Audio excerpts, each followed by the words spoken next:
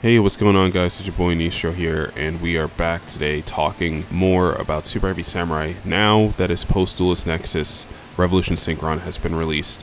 First off, we can play way less bricks because we don't need to play Denglong anymore, so that's immediately three less bricks out of the deck and one less extra deck space. I also believe we don't need to play Infinitrack Tunneler anymore. You could still side deck it if you feel like you need the recovery play, but if your your first turn will be so significant, so significantly stacked against your opponent if you pull the combo off, you don't really need the follow up. But you can keep it around. I mean, it's it's purely up to you. Honestly, I want to find a deck that doesn't need to play box in general. I'm starting to think maybe if there's a route where we can get to beyond the pendulum without using Ancient Gear Ballista, that would be great. But the utility this card provides us is just unmatched. It it still is one of the best cards in the deck, like hands down. So especially when you mix it with a Soul Piercer, like if you can make Ballista with a Soul Piercer, it's like plus three. I'm still on Gamma personally, just because I do still think hand traps are a big deal. Uh, shifter still a big deal, Droll still a big deal, and if you're going first, you don't want to deal with any of those cards. So you drop that bike or you activate that Prodigy Wakashi, and I want to make sure that it resolves. Nobody expects Gamma this format, so I sort of just keep it in just in case. And Gamma can make the Visas Amritara or it can make Accel Synchro, so now you have more options compared to before. Let me just give you guys a showcase of how the deck works. Just know that this this side deck is like a work in progress. I play Zeus and Bagooska when I know I'm going to go second, and I play Crimson Dragon and Hot Red. These these are supposed to be in the side deck because this is only this is purely a going first combo. When you're not going first, you should side these two out, or I, I think you should side these three out. Like I think you also side out the the Steam Train King, um, and put in uh, these three or four to balance it out for going first or going second. But if you know you're going first, I feel like having these in, in your extra deck will be the optimal way to play the deck. First off, showing you the potential of what Revolution Synchron can do. So Revolution Synchron, if you don't know what it does, it uses itself as synchro material from hand. So you normal summon Soul Piercer plus Revolution Synchron, you get to instantly make any level 7 Dragon Synchro or a Power Tool. From there, your Soul Piercer can search you any Super Heavy Samurai monster, meaning you get to search Bike, and you get to start the main combo of going into Wakashi and this, that, and the third.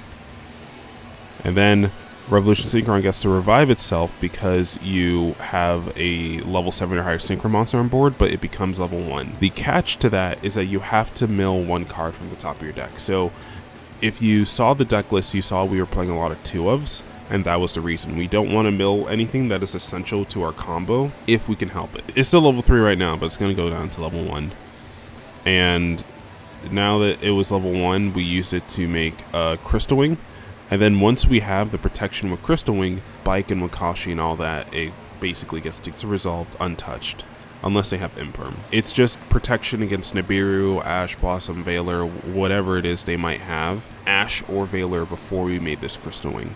Because the only thing that we did was summon Moonlight and then use Moonlight to go into Revolution Synchron. I mean, and then use Revolution Synchron to go into Crystal Wing. So they should still be holding their hand traps. The only one that they could have resolved before this, Droll. But if you already open Bike or if you already open Wakashi, you don't need to resolve Soul Piercer. So you, if you think they're holding a Droll, you don't need to resolve Soul Piercer here. You can just go straight into Crystal Wing and then uh, activate your Bike. So go Wakashi, Wakashi effect, place.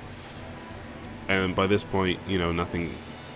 This is sort of nothing new. Get the Soul Piercer, go plus two with the scales, and then link off ballista, go plus three. Um, and yeah, we search wagon here because we're going to we're setting it for pendulum summon. Wagon effect, add Gaia booster, Gaia booster equip, Gaia booster effects.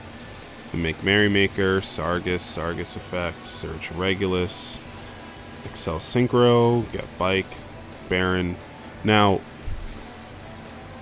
I did mill the second Regulus here, which this is the preferred card that you should um, take if you ever happen to have Regulus in hand. but uh, this is a hypothetical two card combo, and there's no guarantee that you're milling this second Regulus. So that's that's the reason why I didn't go for Regulus here. Also, because Baron can pop your own Soul Piercer, get you an extra search, um, which is going to allow us to make our uh, Apo. Now, this board loses to Dark Ruler, it loses to Super Poly, it loses to a lot of things, and this isn't the foolproof um, Super Heavy Samurai board that you can make, but this is purely just showing you what you can get off of Revolution Synchron by itself. Revolution Synchron plus Soul Piercer increases the ceiling of the deck, right? Because now you have one extra negate on top of these. If they don't open a board breaker, like there's no way they're getting past this, right? So that's the um the, the the great part about playing Revolution Synchron. So now I want to show you like to make sure that you're invulnerable to nib. Um, I, I have this second Revolution Synchron combo, and this time we hard open the Regulus, so we're not going to search it. We're, we we already have it in hand. That's why we're playing it at two. You could even play it at three if you wanted, but I don't think it's that good of a card to play at three in the deck because it does conflict with some combos if you use it too early. Like, okay, so we ended up milling the second Soul Piercer, which again, pure luck, right? Um, but let's say we only have one Soul Piercer and one Revolution Synchron in our grave when we made this Ancient Fairy Dragon. You could not use either of them to get Regulus because Revolution Synchron still needs to summon itself back, so you wouldn't want to target that. And Soul Piercer, you still have, um, you, you still haven't summoned Scales yet, so you don't want to use your Soul Piercer Engrave preemptively and lower your ceiling by equipping it to Regulus. Now we're making Visas Amritara, and the reason why we can do that is because our non-tuner monster here was a light, and the great thing about Revolution Synchron is, although the hand effect specifies dragons or power tool, when using the second effect and reviving it as a level 1 tuner, you can make any synchro. Like, you're no longer restricted to only making dragons, you can make any synchro in the game. So that's why I think Ancient Fairy is a nice touch, because if you're going first, Ancient Fairy can summon any monster, any level 4 lower monster from your hand, which in Super Heavy Samurai seems like a pretty big deal. Like if you have an extra Soul Piercer in hand, that could be the difference between you getting an extra combo piece on board or not. And then you get to summon out Revolution Synchron from your graveyard and use it and Ancient Fairy to make Visas Amritara. And the reason why this Visas is so significant is because it searches Mannadium Reframing. We held the Regulus here because we just needed to make this card just to search Reframing. Reframing is how we, we protect ourselves from Dark Ruler No More. We aren't necessarily super polymerization proof, but Dark Ruler No More and Evenly and Droplet and those unrespondable board breakers, reframing deals with like most of them. It's better to have the counter trap and not need it than to not have the counter trap and need it. We've gone up to five summons here, I believe. Wait, no, that's one, two, three. That's four. Four, four is uh, Visas. So we, we've actually done four summons to make Visas here, and our fifth summon will be Regulus, and we're going to target the Revolution Synchron. Now we can't use its graveyard effect, now we can equip it to Regulus safely, and we're on five summons. We may still only have one negate here, but one, it's a more generic negate, it can, it can negate anything, um, including Imperm. And two, we have Visas Amritara, which will actually come up later on in the combo when you're trying to make a certain someone you guys will see in a second. So Wakashi, Wakashi get Big Benkei, Big Benkei get you Peacemaker, and again we're doing the same same line, Scales, Scales, Soul Piercer, go Ballista, Ballista plus Soul Piercer, you plus three, Wagon, Box, Box effect, add Coral, General Coral, now you get a pen for three, Box, Wakashi, Wagon, Wagon, add your Gaia booster, and we just made the Crimson Dragon using Emertarian Box because this thing's just a level 8 tuner. It becomes it makes it so much easier to make this generic level 12 monster when you have a level 8 tuner compared to when you have to make it using some of your level 4s. Now, next, we go into Super Heavy Samurai Steam Train King. And the reason why we go into this guy is because he is a level 12 Synchro. Um, that also has so much utility that it's kind of crazy.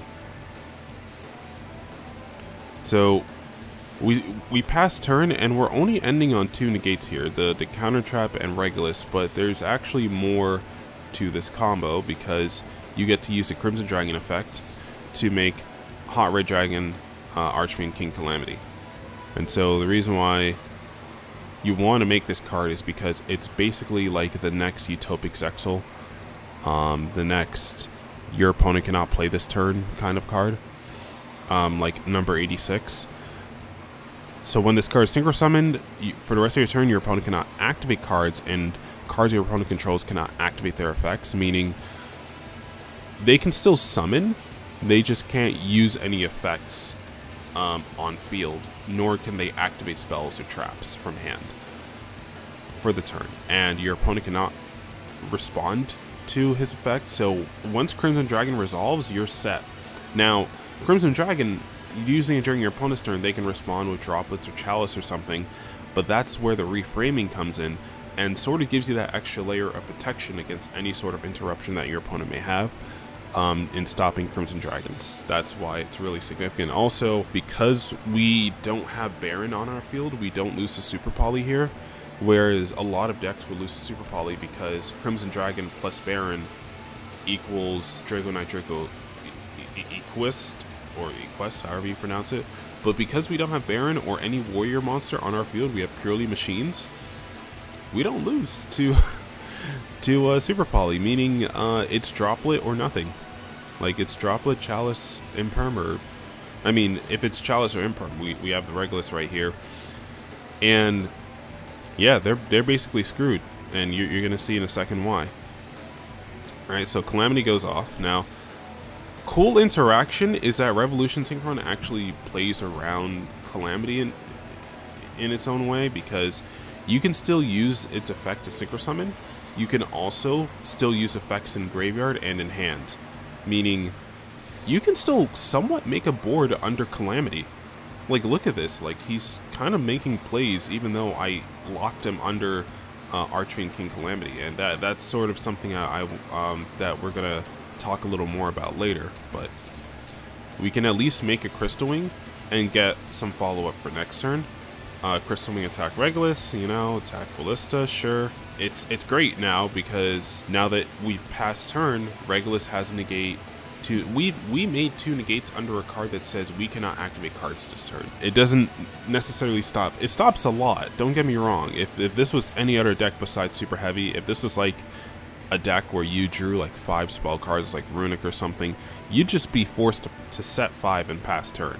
But because this is a super heavy samurai deck, it sort of gives you a little more um, versatility in how you can approach a board like this. It's kind of cool.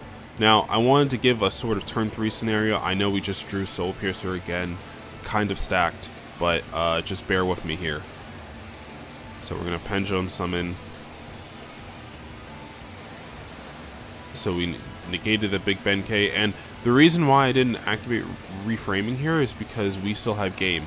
We still have game on board even with the Regulus negate, so I'm not going to waste my counter trap on something that is not very significant.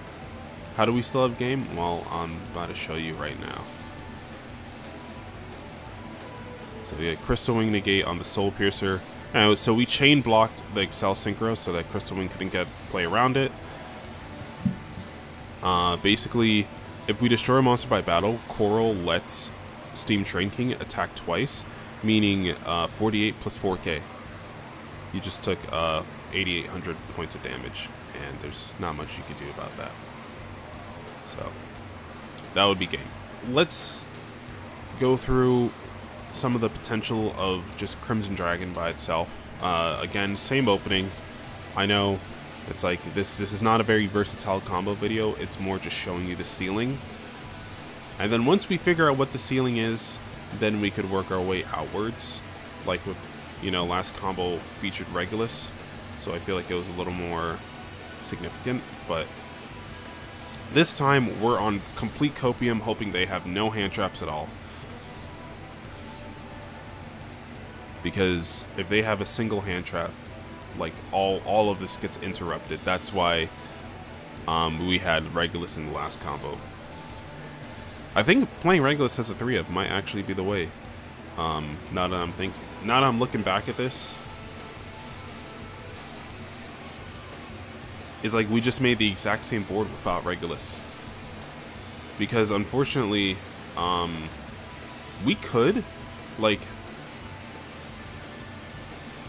if we were playing the other Super Heavy Samurai Synchro, we could, there could be a world where we resolve Wakashi effect to summon a Super Heavy Samurai from deck, and then just be locked into Super Heavy for the rest of the turn so that we can make both Steam Train King plus Brave, Brave Musoro or, you know, something of that nature, but because we're not doing all that and we're purely showing like what the deck can do, um, we're just going to Steam Train King.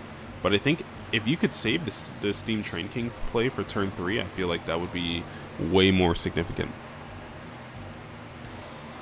Anyway, um, we made Archfiend King Calamity again, and uh, they kind of bricked, right? They, they drew their driver, they drew their Revolution Synchron. But as I said before, they're still making plays.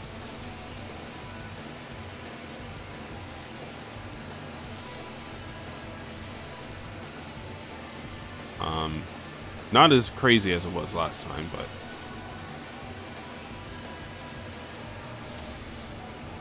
now giving you guys a more realistic turn three, right? So now we're using the reframing on the Crystal Wing.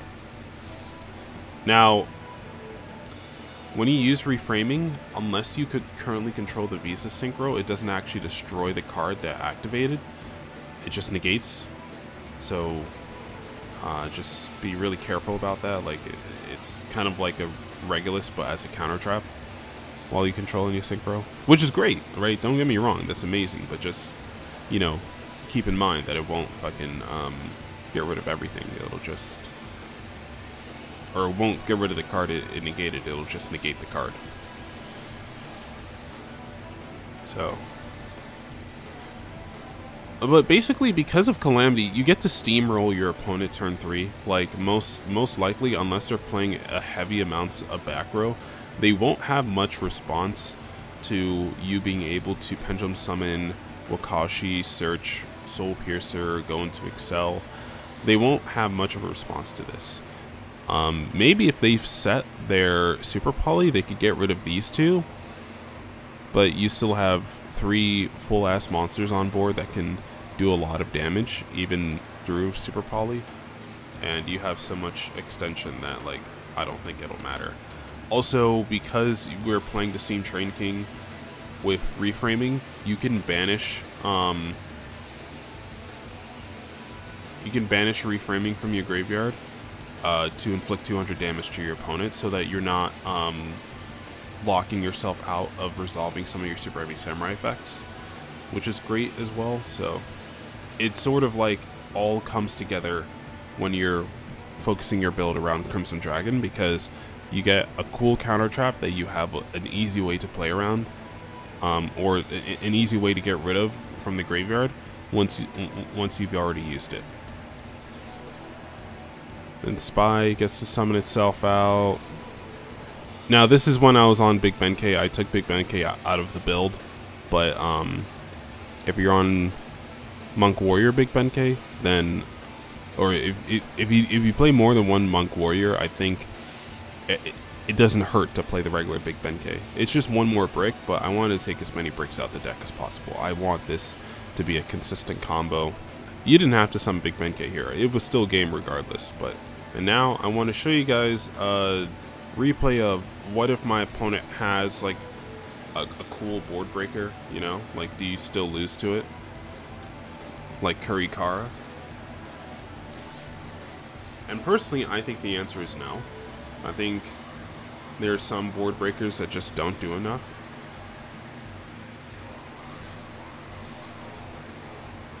Because if you consider the sequencing of the combo,